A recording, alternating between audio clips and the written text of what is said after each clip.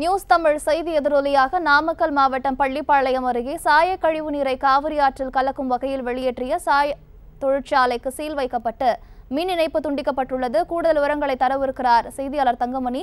தங்கமணி வணக்கம். இது குறித்த கூடுதல் விவரங்கள் என்ன? பதிவு செய்யலாம். வணக்கம் சௌந்தர்யா. நாமக்கல் மாவட்டம் பள்ளிப்பாளையம் அருகே சாய ஆலையிலிருந்து சுத்திகரிக்கப்படாமல் கழிவு நீர் இரவு நேரத்துல வந்து காவிரி ஆற்றில் கலந்தது.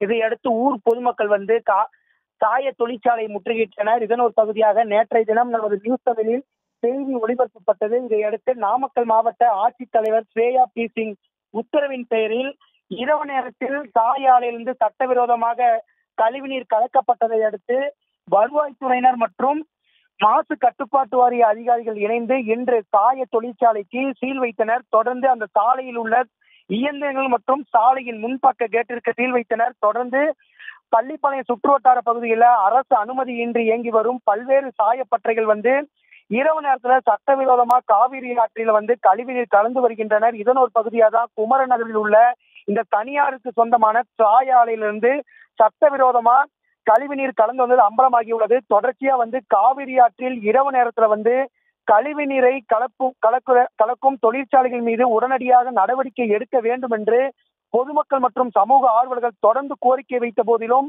மாசு கட்டுப்பாட்டு வாரிய அதிகாரிகள் மெத்தனப்போக்குடன் செயல்படுவதாக பொதுமக்கள் குற்றம் சாட்டுகின்றனர். தொடர்ந்து சட்டவிரோதமாக ஆற்றில் கலக்கும் சாய கழிவு நீரை திறந்துவிடும் தொழிற்சாலைகளுக்கு உடனடியாக நடவடிக்கை எடுக்க வேண்டும் என்பதே பொதுமக்களுடைய கோரிக்கையாக உள்ளது.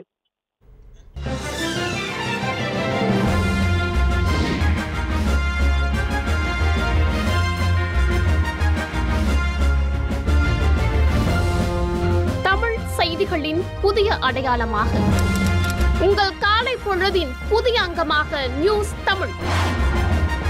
செய்தி வழங்குவதில் உலக தரம். இணைந்திருங்கள். காலை ஆறு மணியிலிருந்தே உங்கள் நியூஸ் தமிழோடு.